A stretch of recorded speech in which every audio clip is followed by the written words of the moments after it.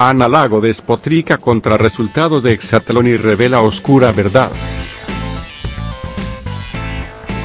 Ana Lago, la gimnasta y es participante de Exatlón México, fue una de las favoritas del público durante la emisión del exitoso programa de concursos de televisión azteca, pues la atleta de Monterrey no solo demostró su gran habilidad física, sino también su carisma y particular belleza que dejaron prendados a más de un fanático del programa.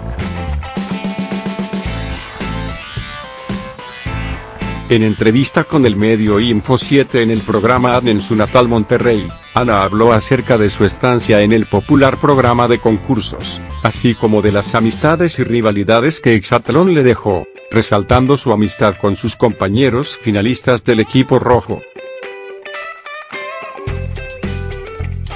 También hizo referencia a la amistad que tiene desde hace años con Daniel Corral.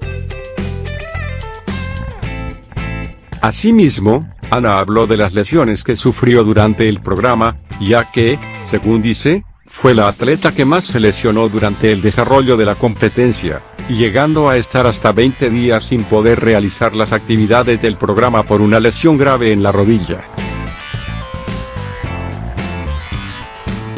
Dentro de la misma entrevista, Ana Lago también fue cuestionada acerca de la popularidad que ha ganado a través de su participación en Exatlón, ya que, a pesar de ser una atleta condecorada y ser la única persona que ha ganado una medalla de oro en gimnasia en la historia de México, nunca había sido tan reconocida como después de participar en el programa.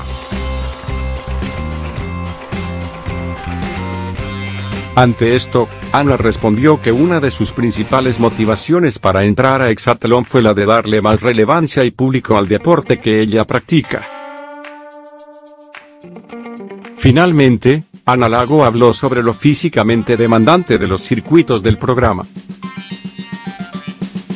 También declaró que ella considera que debió ser la ganadora de Exatlón y no descartó la posibilidad de regresar al programa de concursos con la firme intención de ganarlo todo.